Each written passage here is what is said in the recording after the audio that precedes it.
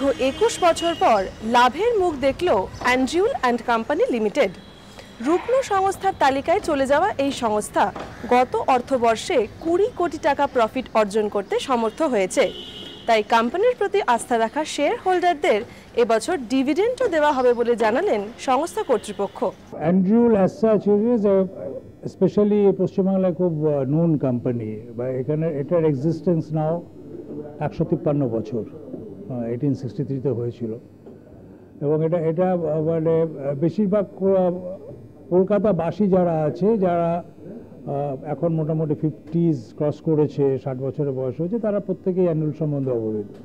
এটার একসময় pride of Bengal ছিল ওনাদের প্রাইড অফ ইন্ডিয়া ছিল।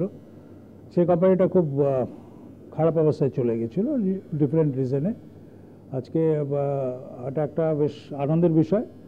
যে গত সাত বছর ধরে কোম্পানিটা ভালো করছে কিন্তু আমাদের সেরকম আর্থিক অপরিস্থিতি ছিল না, যেখানে আমরা ডিভিডেন্ড দিতে পারব। It is a listed company dividend দেওয়াটা একটা কর্তব্য। তো এত একুশ বছর পরে আমরা একটা ডিভিডেন্ড দিতে পারছি।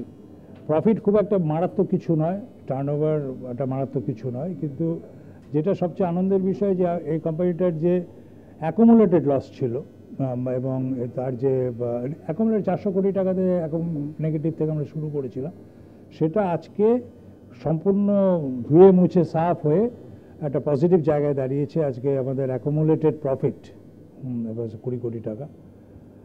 সেই জন্য একটা এটা এটা we can say that is achievement প্রসঙ্গত উল্লেখ্য, চা ব্যবসার পাশাপাশি অ্যান্ড্রিউল জোর দিচ্ছে ইলেকট্রিক্যাল ইকুইপমেন্টস ম্যানুফ্যাকচারিং এর ওপরেও।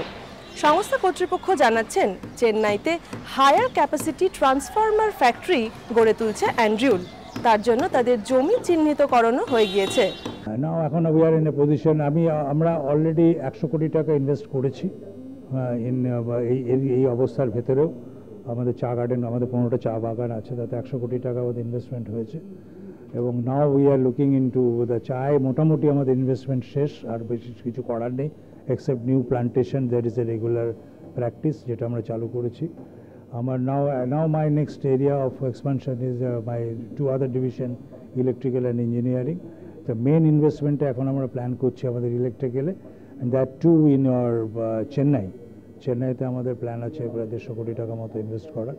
আমরা দশ একর জমি আইডেন্টিফাই করেছি। ওখানে চেন্নাইতে আমরা পাওয়ার ট্রান্সফর্মার তৈরি করি। UHV ultra high voltage transformer ওখানে আমরা তৈরি করব। এবং তার জন্য আমরা সমস্ত রকম বোর্ড অ্যাপ্রুভ করা আছে ডিপিআর করা আছে, জমি আইডেন্টিফাইড রয়েছে। Now will start working on that